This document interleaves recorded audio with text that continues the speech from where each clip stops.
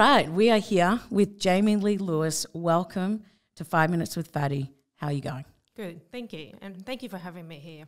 Jamie, I never would do this without you know having you uh, supporting me and also help inspire me to do this. So I'm really grateful you're here.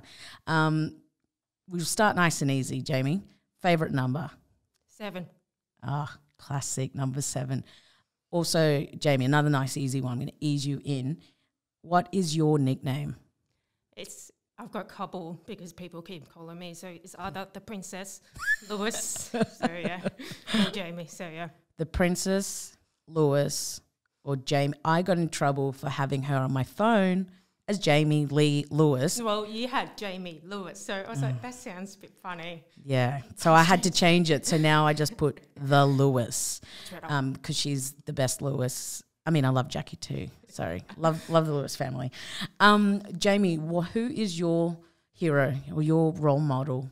well, my hero has always been my dad Mm. um, because I look up to him growing up. Can you just tell our listeners who your father is? Uh, my dad is Wally Lewis, and so yeah, the king. The they call it. king, hence the princess. Yeah. Um, because just for to see what he had the passion for the State Origin. So yeah, every time I grow up, just seeing people look up to him yeah. doing what he loves. That's awesome. But Jamie, I wonder if you know how amazing you are and what an inspiration you are. Like for those that don't know Jamie Lee Lewis, aka the Princess, she was a elite water polo player for the Barracudas. Was in the young Australian um, Under 20s, yeah. water polo team. She's completely profoundly deaf and she played at that elite level. So Jamie, like that is inspiring to it is to me, and I've told you that all the time, but to so many other kids that have um, you know, disabilities or are deaf, would I think that they need to hear more about your story because it's pretty inspiring. Um, and can you just tell everyone quickly on that? How did you communicate when you're in the pool? Because obviously you were off. yeah. How did you communicate with teammates? So I'm pretty lucky to have a really good eyes because I'm always aware. And my Yeah. mum said that ever since I was little, I was always looking around. Yeah. So I call my eyes are my ears because I just look around. My, another tattoo. My eyes are my ears. That's awesome, man. Um, yeah. Look, I, and I was pretty lucky to have a wonderful teammates would always look at me We'll have a single numbers so that we know what Ah. moves. we're and doing. wasn't there a splash Yeah. thing? And sometimes I splash it back them and they say, What are you doing? We're not dead. You can call. That's great. I love that. That's also really advanced. Like that's anyway. Yeah, Yeah. ins- inspiration here. Um, Jamie Lee, what is your pre-game or your post-game rituals? Um, What do you pre-game is that I always have a really good smash arrow bacon halloumi. Pause. What do you do the night before? No dinner. You. oh, I always have. She froze it. I always have the dinner. So nice steak, sma- um, a little bit arrow with really good veggies and sweet potato chips. So good meal, and then you go again. Another good meal in the morning, Yep. and then you And get I, to the I game. have to be at my game. So Yep. say we have to be at the game hour. I have to be hour and a half. It's just me. I have to be that early. She's also OCD, as long as profoundly deaf. Um, yeah, you you like to be organized, and that's Yeah. that's awesome, and that's what helps take you to the next level. Um, and a lot of you girls here in level playing field, you all have that in common. You, the one percenters, you know, makes the difference. So, um, I'd also like to ask you what inspired you to.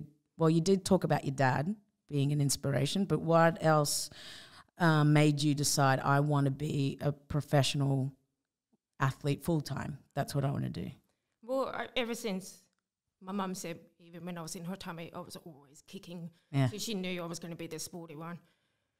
And then when I, sport has been a massive part of my life because it was something that I know I was good at, Yeah. and it's something that I was fit in in the world, you know, um, and because I can use that as my strength, Yeah. I can get there, you know, because deafness shouldn't stop me from what I'm doing, you know. Hell yeah.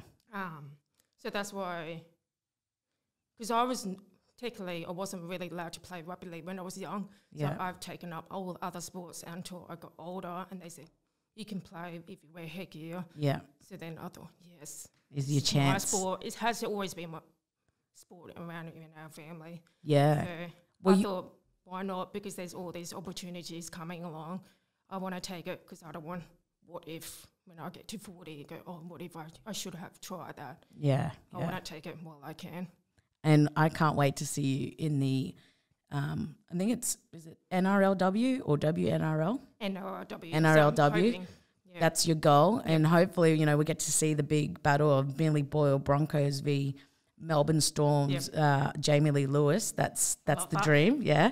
Um, and then lastly, Jamie, what would you like to tell young uh, the young listeners? What advice would you give them um, about being an athlete?